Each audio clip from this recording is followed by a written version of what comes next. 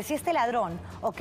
Este ladrón llamado Odebrecht me va a permitir con información y con un testimonio coherente meter preso a 20 ladrones, presos a 20 ladrones, incluidos expresidentes, exalcaldesas, ex candidatas a la presidencia, ¿qué quieres, papito? Sí, sí, a sí. cambio, te doy plata, te dejo trabajar, no, no. necesito meter Le- presos le- le a, todos estos delincuentes. Le puedo bajar la condena, pero no le permito que se quede con el auto robado nunca.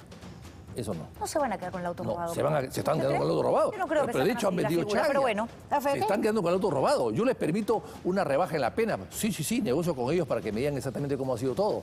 Pero dejarle el carro robado para que sigan lucrando con un carro robado, ¿Y eso de usted cree que. Odebrecht iba a pedir menos?